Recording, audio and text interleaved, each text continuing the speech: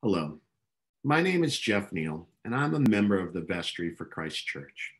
Reverend Mark asked me to give my perspective to you today about why the church matters to me and how that may relate to my stewardship.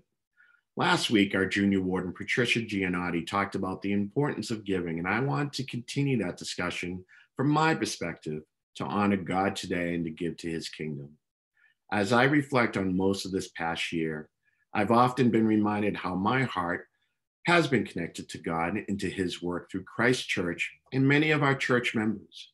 I wanted to say thank you to Reverend Mark, Reverend David, Maggie O'Neill, Sally Farrell, and Bruce Adamy, and many more behind the scenes that impact not only myself and my family, but our church community, and just as important, the surrounding community on a regular basis.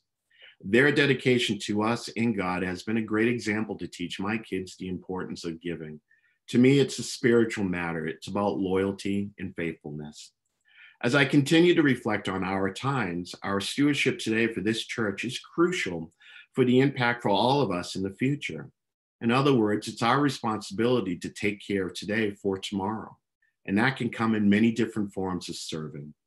As I continue to think of what I need to teach and show my kids about giving, I believe to give by faith means we put obedience to God above all other considerations and trust Him to work it out. I've shared with you in the past that my mother, who's almost 90 years old, says something very similar. She likes to say, let go and let God.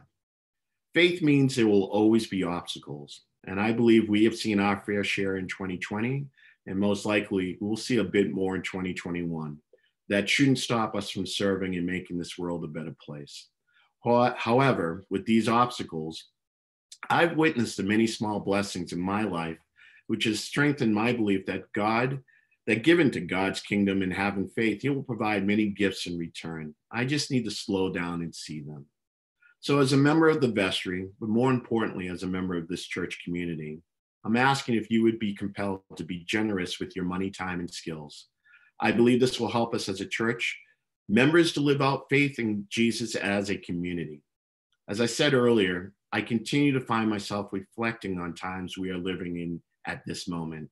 I recognize that many of us have had a hard time in 2020, and it's required of us to have hard conversations and make big decisions, especially as we look towards 2021. What gives me peace and hope is that I know that God is at work in this church, and it's the collective gifts from all of us that allows this ministry to make a difference in our lives in this community. Thank you for your time and the opportunity to speak with you today.